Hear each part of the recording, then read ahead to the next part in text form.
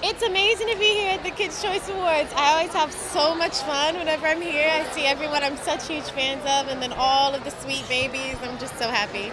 It's so important. I mean, I feel like this is when we have our most memories, like when we're young at these ages.